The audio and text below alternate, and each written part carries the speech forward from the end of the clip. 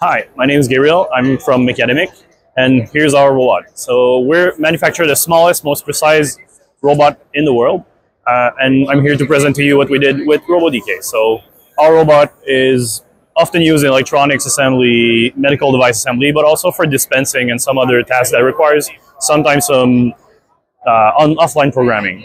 Um, so here in this case, what we did is we had uh, the robot, a tool, and then we created a part. And then we used RoboDK to teach the whole part completely offline. So we didn't have to open our web interface or do anything like that.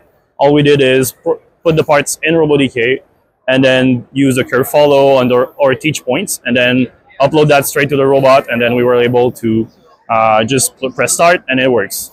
Um, so our robot, yeah, it can be used in all sorts of applications in general, it's really used in, like I said, medical device optics. Uh, sometimes it's used calibrated through RoboDK for very, very precise applications.